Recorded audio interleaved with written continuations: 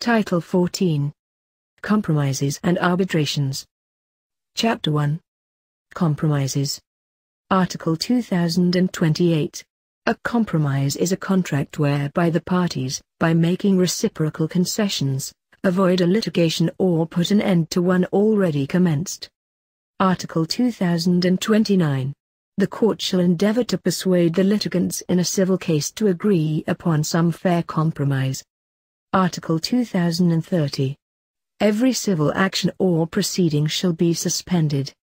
1. If willingness to discuss a possible compromise is expressed by one or both parties, or 2. If it appears that one of the parties, before the commencement of the action or proceeding, offered to discuss a possible compromise but the other party refused the offer.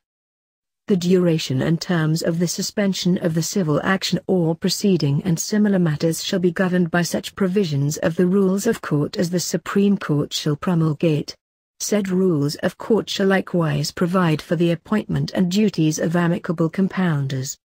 Article 2031 the courts may mitigate the damages to be paid by the losing party who has shown a sincere desire for a compromise.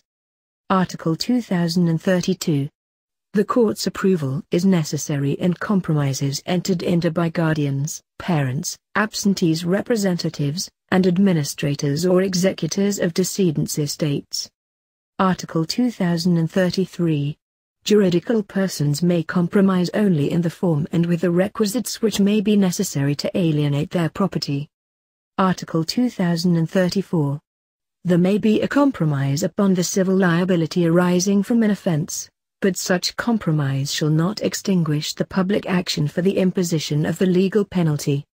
Article 2035. No compromise upon the following questions shall be valid. 1 the civil status of persons. 2. The validity of a marriage or a legal separation. 3. Any ground for legal separation. 4. Future support. 5. The jurisdiction of courts. 6. Future legitime. Article 2036.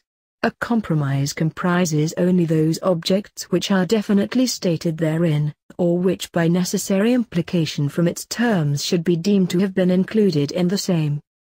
A general renunciation of rights is understood to refer only to those that are connected with the dispute which was the subject of the compromise. Article 2037. A compromise has upon the parties the effect and authority of res judicata, but there shall be no execution except in compliance with a judicial compromise. Article 2038. A compromise in which there is mistake, fraud, violence, intimidation, undue influence, or falsity of documents, is subject to the provisions of Article 1330 of this Code. However, one of parties cannot set up a mistake of factors against the other if the latter, by virtue of the compromise, has withdrawn from a litigation already commenced. Article 2039.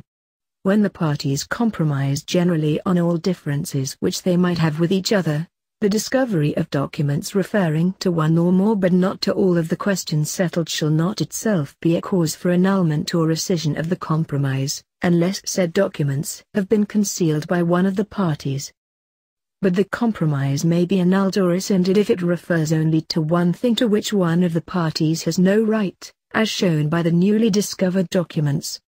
Article 2040.